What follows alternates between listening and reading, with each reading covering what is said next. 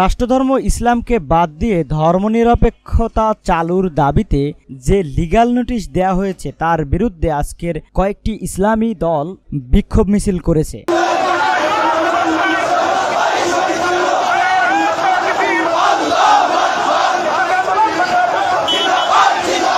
উল্লেখ্য যে, সংবিধান থেকে রাষ্ট্রধর্ম ইসলাম বাদ দিয়ে ধর্মনিরপেক্ষতা চালু করার দাবিতে আওয়ামী লীগের সাধারণ সম্পাদক, মন্ত্রিপরিষদ সচিব, আইন মন্ত্রণালয়ের সচিব, স্বরাষ্ট্র মন্ত্রণালয়ের সচিব সহ সংশ্লিষ্ট জনকে লিগাল নোটিশ পাঠানো হয়েছে। নোটিশে এই চারজন ছাড়াও বিএনপির মহাসচিব, জাতীয় পার্টির মহাসচিব, গণফোরামের ডক্টর কামাল হোসেন, বাংলাদেশ সমাজতান্ত্রিক দলের হাসানুল হক ইনু, ওয়ার্কার্স পার্টির রাশেদ খান মেননকে বিবাদী করা হয়েছে। রোববার নোটিশটি পাঠান সুপ্রিম কোর্টের আইনজীবী অশোক কুমার ঘোষ। তিনি নিজেই সাংবাদিকদের বিষয়টি নিশ্চিত করেন। তিনি বলেন, বাংলাদেশ মাইনরিটি সংগ্রাম পরিষদ সভাপতি অশোক কুমার সাহার পক্ষে পাঠানো লিগাল নোটিশটি পাওয়ার দিন থেকে পনেরো দিনের মধ্যে রাষ্ট্রধর্ম, ইসলাম সংবিধান থেকে বাদ দিয়ে ধর্মনিরপেক্ষতা লেখা শুরু করতে হবে। অন্যথায় বাংলাদেশের অসাম্প্রদায়িক জনগণের পক্ষে হাইকোর্টে রিট পিটিশন দায়ের করা হবে।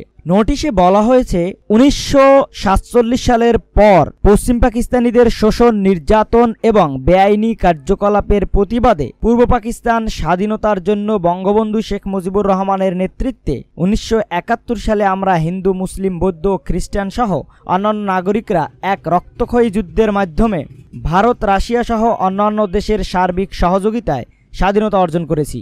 আমাদের উনিশশো বাহাত্তর সালের পবিত্র সংবিধানে স্বাধীনতা চেতনা সহ রাষ্ট্র পরিচালনার মূলনীতি ছিল জাতীয়তাবাদ, সমাজতন্ত্র, গণতন্ত্র ও ধর্মনিরপেক্ষতা। স্বাধীনতার চার বছরের মাথায় উনিশশো পঁচাত্তর সালে বঙ্গবন্ধুকে হত্যার পর উনিশশো বাহাত্তর সালের সংবিধানের মূলনীতিসমূহ পরিবর্তন করা হয়, যা স্বাধীন বাংলাদেশের বুদ্ধিজীবী সম্প্রদায় এবং সংখ্যালঘু জনগণ মনে প্রাণে গ্রহণ করেনি। সংবিধান দুইয়ের ক অনুচ্ছেদে রাষ্ট্রধর্ম সংযোজনের ফলে অসাম্প্রদায়িক বাংলাদেশ এখন সাম্প্রদায়িক বাংলাদেশে পরিণত হয়েছে। বর্তমানে ভারত সংখ্যাগরিষ্ঠ হিন্দুদের জন্য হিন্দু রাষ্ট্র হিসেবে পরিগণিত হচ্ছে এবং ভবিষ্যতে সাংবিধানিকভাবে হিন্দু রাষ্ট্র হিসেবে স্বীকৃতি পাবে। সুতরাং বিশ্ববাসীকে অসাম্প্রদায়িক চেতনার জন্য বাংলাদেশকে অসাম্প্রদায়িক দেশ হিসেবে পরিগণিত করা আবশ্যক। সেজন্য পবিত্র সংবিধানে অর্থাৎ মূলনীতি অষ্টম আর্টিকেলে ধর্মীয় নিরপেক্ষতা থাকবে, কিন্তু কোনো ক্রমে এই রাষ্ট্রধর্ম ইসলাম থাকবে না। নোটিশে আরও বলা হয়, জাতীয় সংসদে বিষয়টি বিল আকারে উত্থাপন সহ বিলটি সংখ্যাগরিষ্ঠ সংসদ সদস্য দ্বারা পাশ করাও আবশ্যক। অন্যথায় বাংলাদেশ চিরতরে সাম্প্রদায়িক দেশ হিসেবে বিশ্ববাসীর নিকট স্বীকৃতি পাবে। তাছাড়া জাতির পিতা ও বাংলাদেশের স্থপতি বঙ্গবন্ধু শেখ মুজিবুর রহমানের স্বপ্ন বাস্তবায়িত হবে না। এই নোটিশটির প্রতিবাদে বাংলাদেশের আলেম সমাজ গর্জে ওঠে এবং তারা আজকের বিক্ষোভ মিছিলের মাধ্যমে এটাকে প্রত্যাখ্যান করে।